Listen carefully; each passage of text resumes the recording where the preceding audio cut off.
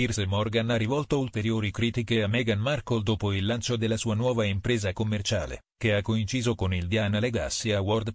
Piers Morgan ha criticato lo scarso tempismo di Meghan Markle dopo aver lanciato questa settimana il suo nuovo marchio su Instagram, American Riviera Orchard.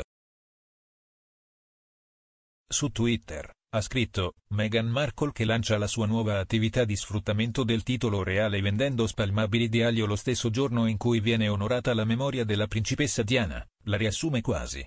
Fa schifo. Il lancio ha coinciso con il Diana Legacy Award, che prevedeva un'apparizione video del marito di Meghan, il principe Harry. La sua nuova impresa commerciale segna il primo post sui social media della duchessa di Sussex dal 2020. Sembra che abbia in cantiere dozzine di prodotti lifestyle per la casa, anche se per ora non è in vendita nulla.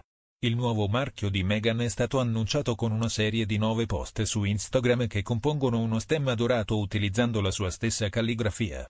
Sebbene l'account abbia già ben più di 300.000 follower, alcuni commentatori hanno criticato i tempi del lancio. Altri hanno addirittura suggerito che la duchessa potrebbe aver violato il suo rigido accordo con la famiglia reale.